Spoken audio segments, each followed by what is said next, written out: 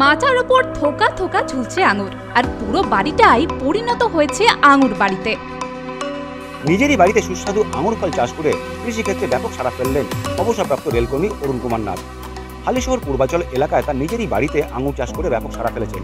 মূলত কর্মক্ষেত্রে থাকাকালীন আজ থেকে তেতাল্লিশ বছর আগে দক্ষিণ পূর্ব রেলের আদ্রা ডিভিশনে কর্মরত অবস্থায় সেখানে নিজের কোয়ার্টারে এই আঙুর চাষ করেছিলেন। মূলত নিজের ঘর ঠান্ডা রাখার উদ্দেশ্যে তার এই আঙুর চাষ। এরপর দু হাজার সালে অবসর নেওয়ার পর হালিশহর পূর্বাচল এলাকায় নিজের বাড়িতে এসে ফের এখানে আঙুর চাষ করেন এবং সেই থেকে আজ পর্যন্ত তার বাড়িতে আঙুর গাছ আজ মহির হয়ে পরিণত হয়েছে।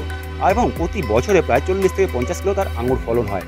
ঘর ঠান্ডা করার জন্য আর আঙুর তো হতোই। আমি যেখানে ছিলাম চাকরি ক্ষেত্রে আর কি, কর্মক্ষেত্রে, সেখানে তো আঙুর হয়েছে ভজুরিতে।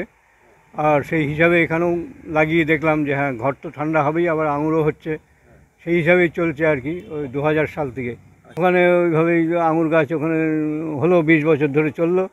চলার পর তারপর আমরা রিটায়ার হয়ে চলে আসলাম যখন, তখন এই হালিশহরে আমার নিজস্ব বাড়ি মানে প্রত্যেক বাড়ি, এখানে প্রত্যেক বাড়িতে ওখানে লাগিয়ে দিলাম। লাগিয়ে দিয়ে প্রথমে লোহার তারের মাচা ছিল, সেগুলো তো জং ধরে সব পড়ে গেল। এখন ওই সফট স্টেনলেস স্টিলের তার দিয়ে ইয়ে করে দিয়েছি, আর পড়ে টড়ে যাওয়ার কোনো ব্যাপার নাই। আর সাইডে ওই টিউবওয়েলের পাইপ টাইপ দিয়ে, টানা দিয়ে রাখা আছে। মানে এইভাবেই রয়েছে। আর প্রতি বছর অন্তত বিশ চল্লিশ পঞ্চাশ ষাট কিলো পর্যন্ত আঙুর হয়।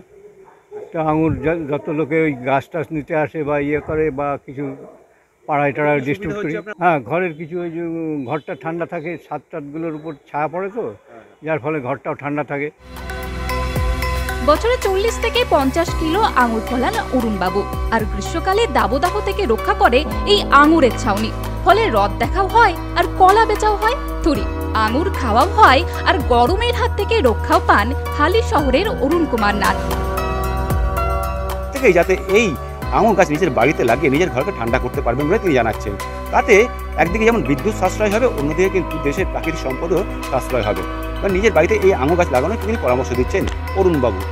হালি শহর থেকে দেবপ্রিয় সরকার, নিউজ বর্তমান